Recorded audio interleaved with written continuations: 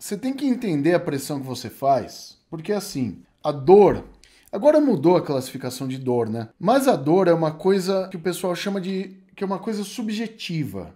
O que, que é subjetiva, Rogério? Depende de pessoa para pessoa. Então, vamos supor que eu tô com uma pessoa muito sensibilizada pela dor. O que, que vai acontecer? Dependendo da pressão que você impõe, se eu colocar uma pequena pressão, a pessoa já tem dor. Tem pessoas que têm uma coisa que chama alodínia, que só de você passar sua mão ou passar um algodão, a pessoa já sente dor. Então você tem que estar muito ligeiro nessa questão, porque dependendo da pressão que você impõe, você está gerando dor na pessoa e está te dando um falso positivo de dor naquela região, entendeu? E dor referida. Porque, evidentemente, se você exercer a pressão e você chegar em determinada musculatura, evidentemente eu vou ter a dor referida dela. Então, toma muito cuidado com a pressão que você aplica.